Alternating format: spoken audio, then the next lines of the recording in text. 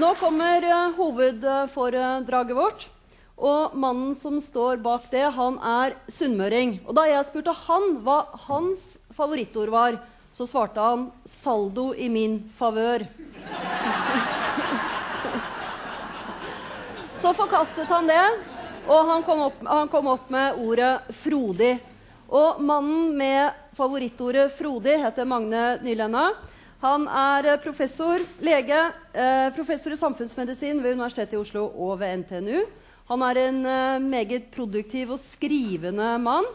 Og ja, nå, du har bl.a. Uh, stått bak Medisinsk ordbok og Helsebiblioteket i Nasjonal kunnskapssenter for helsetjenesten. Så man må trekke pusten litt ekstra. Du er opptatt av formidling. Du underviser i det, du har skrevet bøker om det. Og det er også det det skal handle om i foredraget. Bl.a. om fagspråk, om kommunikasjon. Og så vet vi at På de aller fleste fagområder så finnes det en egen terminologi og fag, en faglig sjargong, slik Dag Gundersen beskriver det i Store norske leksikon. For eh, frisører så dreier det seg om eh, effilering, hair extension og hårtekstur. Fiskeoppdrettere snakker om anadromfisk, bunnpåvirkning, akvakultur og biomasse. Teologer har masse vanskelige ord som eksegese og epiklese og, og liturgi og intinksjon. Og IT-folk som vi omgir oss med, har jo et hav av begrep som vi knapt kan uttale.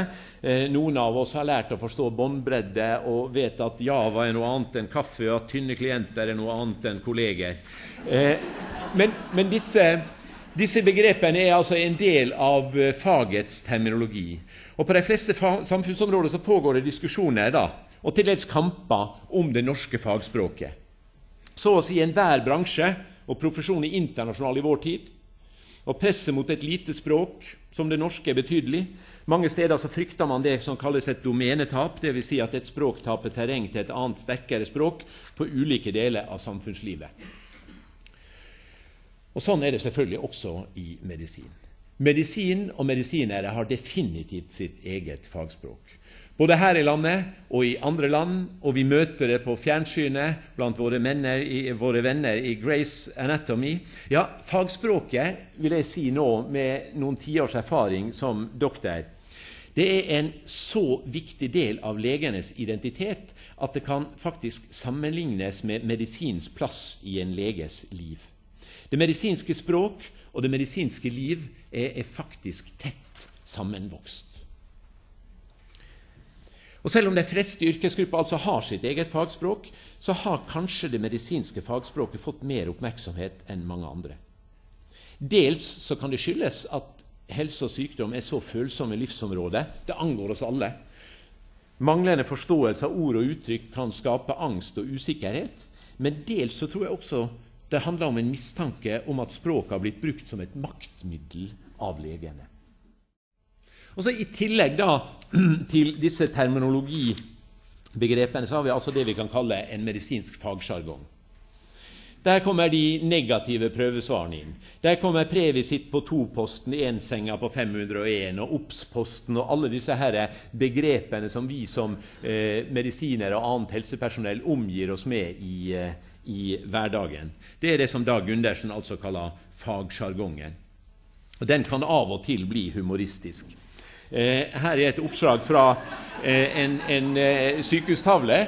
Der jeg tror knapt noen, noen doktor ville tenke noe annet at det her må være venterommet for medisinsk poliklinikk. Vi ville knapt ha fantasi til å tenke noe annet. Men så er det altså noen som kan vente seg vinutsalg på uh, venterommet likevel. Eh, Wolfgang Plagge sa at musikk er språk. Men det er jammen medisin som fag også. Jeg vil si at Noe av det spesielle for medisin og helsefag det er at språk ikke bare brukes til å formidle informasjon, men det er også et verktøy. Der tausheten og mangelen på Akkurat som eh, John Cages eh, komposisjon, så kan tausheten være et virkemiddel viktig, viktig virkemiddel i en prosess, både i diagnostikk og behandling. Og Hvordan leger kommuniserer med pasientene sine, det påvirker utfallet av en konsultasjon på måter som vi kanskje ikke tenker over. Og Hvis målet, som mange av oss syns det bør være, er at alle pasienter skal kjenne seg bedre etter en konsultasjon, så må ordene velges med omhu og formidles på en hensiktsmessig måte. Ja, Pasientrettighetsloven fastslår faktisk at pasientene har krav på forståelig informasjon, enda til citat, 'tilpasset mottakerens språkbakgrunn'. Da er det kanskje litt paradoksalt at mange pasienter foretrekker at legen bruker fagspråk. Det er nemlig sånn at Hvis legen bruker fagtermer som hypertensjon i stedet for høyt blodtrykk, eller erektil dysfunksjon istedenfor impotens, nå er jo impotens et, et fremmedord i seg sjøl, så oppfattes tilstandene som mer alvorlige enn om de mer folkelige betegnelsene brukes. Men interessant nok så viser en britisk studie at pasientene foretrakk at legen brukte nettopp slike fagtermer fremfor folkelige begrep på sykdommen og tilstandene deres. Begrepet halsbetennelse ble f.eks. For forbundet med mindre profesjonalitet enn tonsillitt, som pasientene foretrakk. Den britiske undersøkelsen tyder på at utstrakt bruk av folkelige begrep tolkes på en måte som om legen ikke tar tilstanden alvorlig nok. Og Det må altså da balanseres, slik at vi unngår en terminologi som virker skremmende eller forsterker sykerollen. La oss se oss litt tilbake. Det er ikke lenge siden den medisinske fagterminologien var veldig fjern fra folks dagligtale. Og Selv om vi altså så i den quizen vi har gjort på, på gata, eh, at det fortsatt er mye uforståelig, og at det sikkert for dine øyne er mye uforståelig i et journalnotat, så er min tese eh, at det gradvis har skjedd endringer. Mitt inntrykk er at de folkelige medisinske ordene nærmer seg det faglige på mange områder. Folk flest har snakka om sukkersyke og kunstig nyre, mens leger og helsepersonell har snakka om diabetes og dialyse. Nå har diabetes og dialyse tror jeg stort sett overtatt, også blant folk flest. Vi har Diabetesforbundet, og pasienter går til dialyse. Gradvis har fagtermene overtatt hos pasienter og pårørende. Men det er interessant at den påvirkningen har så absolutt ikke bare vært enveis, altså fra medisinere til publikum. Stadig oftere så vinner allmennheten slag om begrep. Leger har snakka om cerebral insult. Og I fjor så var det jo en kjempekampanje jeg tror godt assistert av landbruksnæringa, eh, for å kalle influensaen for influensa H1N1, mens folk flest snakka da om hjerneslag og svineinfluensa. Folket vant. Nå lager leger retningslinjer for hjerneslagsbehandling.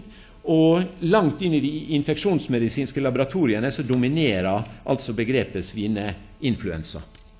Så her, her, er altså en, en, skal vi si det på, på, med et fint ord, en slags konvergens, der fagfolk og folk flest møtes om medisinske termer og begreper.